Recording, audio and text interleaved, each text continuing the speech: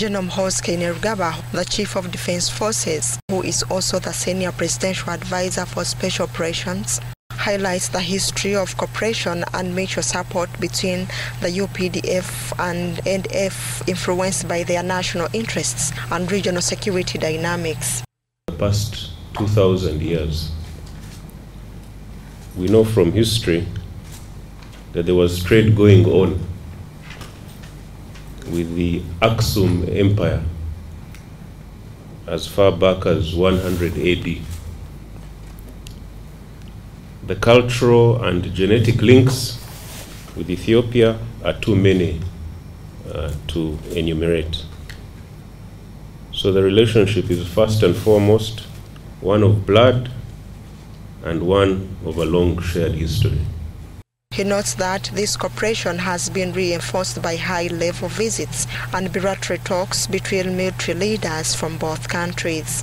Problems because everybody speaks to me in Amharic or, or Oromo, thinking I'm from there. Of course, the Uganda People's Defense Force and the Ethiopian National Defense Force have a history of cooperation and mutual support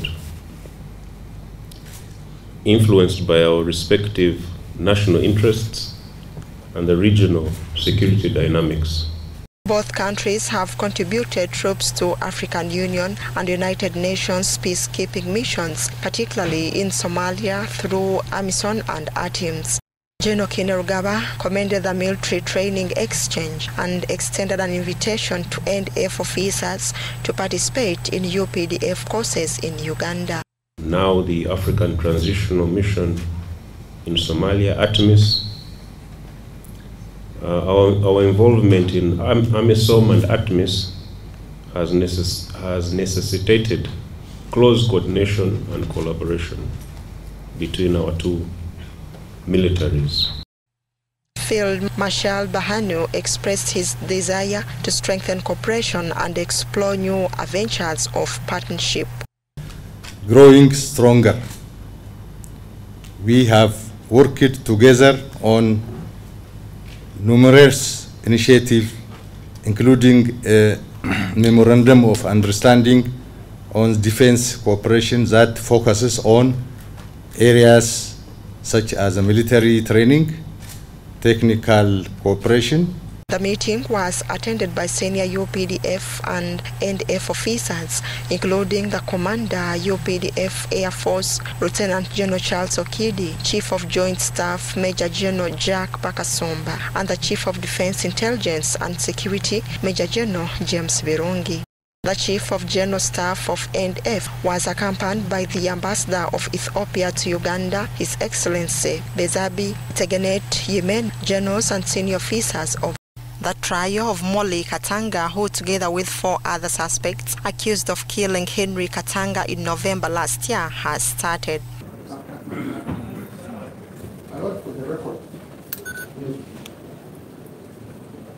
The Criminal Division of the High Court presided over by Justice Isaac Muwata, has allowed the prosecution to amend the charge sheet by adding more charges to the four accused of the murder of Henry Katanga in November 2023. In this case, on the report, be tendered in a criminal trial.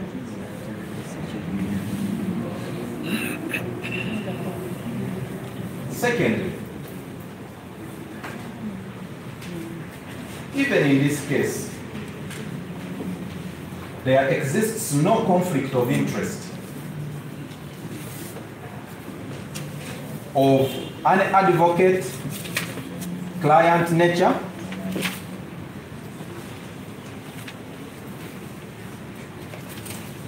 of an advocate client nature between Ms. Summary and accused persons.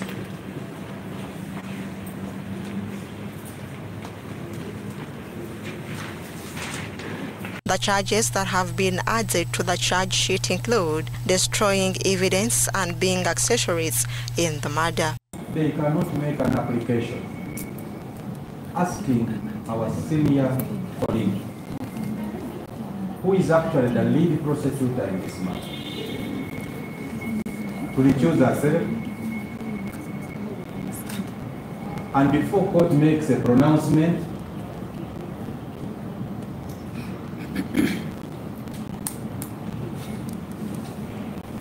they shoot up and start directing court on how it should proceed. My Lord, we take exception and I hope and pray, my Lord.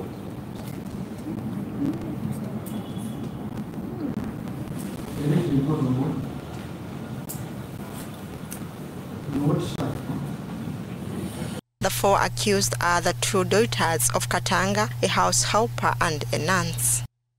According to the prosecution, on November 2, 2023, at Tratu Road in Imbuya, Nakawa Division, with malice of forethought, Molly Katanga killed her husband, Henry Katanga.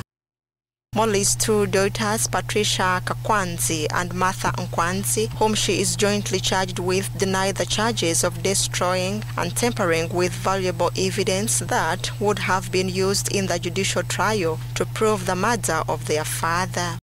On the other hand, the family's chamber boy, George Amanyire, and the nursing officer, Charles Otai, have been charged with being an accessory. However, they have also denied these charges. Molly Katanga, who attended the trial in person, was wheeled to court in a wheelchair by the Safety and Security Unit, the allied force of the prison services. She yesterday asked the court to allow her attend hearing on Zoom due to her medical condition.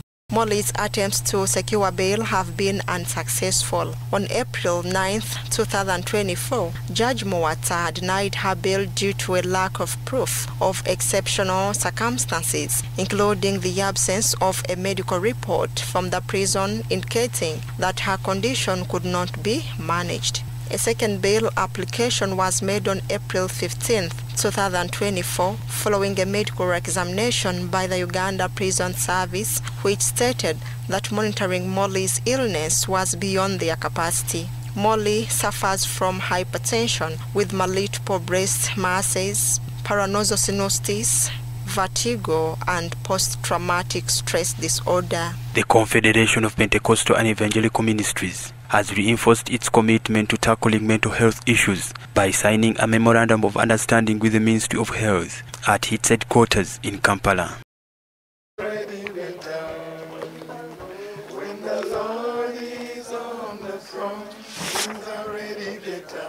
This collaboration aims to share resources, raise awareness about mental health and promote accountability in resource utilization and promote accountability in resource utilization.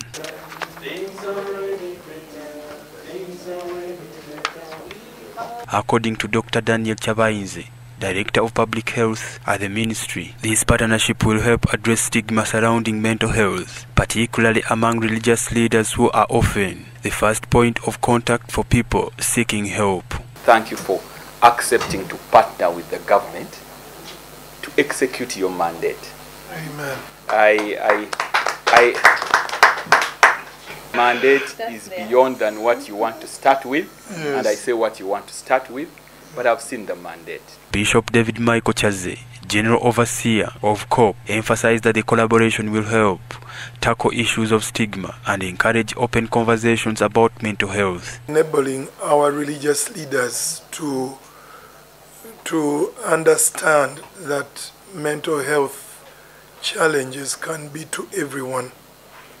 And I think one way of destigmatizing this is to commonize it. Uh, we as leaders should share openly what we are going through so that people do not feel um, stigmatized when they share what they are going through. Dr. Chabainzi noted that mental health issues are prevalent even among high socio-economic communities where individuals often suffer in silence due to the stigma associated with, with mental illness. Um, we have recently seen media reports and confirmed that some people who we thought were mentally stable have committed suicide We've seen people who have gone into depression and withdrawn from public, and many reports of people who are stressed and depressed. These are all signs of mental illness, and these mental illness have all along been available. That's why we've had hospitals to treat them. But we think there is an escalation. One, either by increased sharing of information through social media, which wasn't available previously. Now we capture live things as they happen. Recent studies indicate that one in four people suffer from mental health issues, which can be triggered by various factors such as loss, poverty, drugs, and depression. Bishop Chazi encouraged the public to normalize open conversations about mental health to avoid depression and potential mental health issues. That sense that um, omusajja takaaba keep quiet you do but you know we, we, we, we will we will and as we've been doing encourage people to express themselves and you know it comes with education it comes with teaching that people learn to release themselves and even dilute their culture culture. COP Ministry, established in June last year, aims to empower Christians through holistic ministry to Pentecostal and evangelical churches and organizations.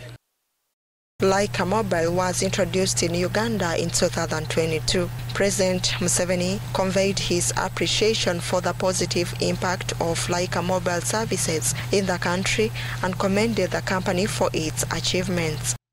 Director of Industry Affairs and Content Development at UCC, Juliane Moheire, elaborates that the delegation's visit to State House Entebbe is to express their gratitude to President Museveni for the support provided to the company in launching its services in Uganda.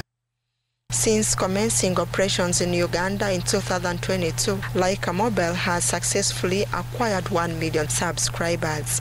Subaskaran Allirajah, chairman of the company, has assured the president that they offer affordable services to all Ugandans. The meeting was also attended by the Minister of State for Foreign Affairs, Honorable Okello Oryem, who joined in the discussions.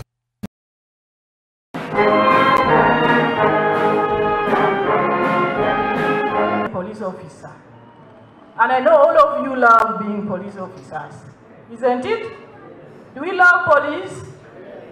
It is a very noble job of God because you are dealing with the people who are in distress, someone who is a suspect, somebody who is a victim, somebody, I mean, doing community work. Name them, you know what we do. And really, it is so noble. And you should love the job which you are doing.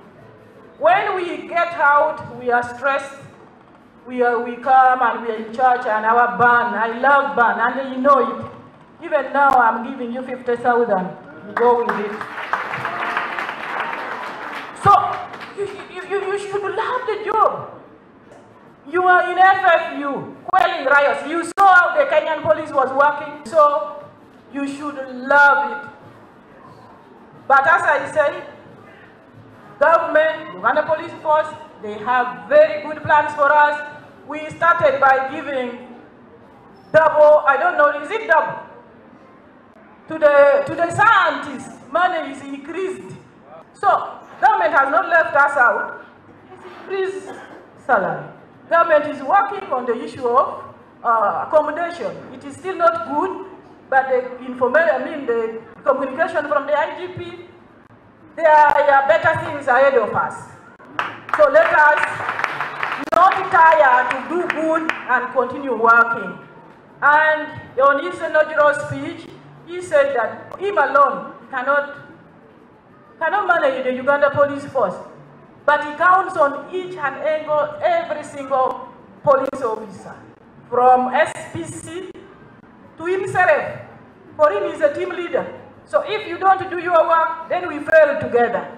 So just maintain your discipline. And the rest is going to be history because we resolve as top management that every year we shall be promoting. Am I lying? It is coming every, each and every year. The other year, eh, at 2022, promoted. 2023, promoted. 2024, we already vetting. Are we not vetting?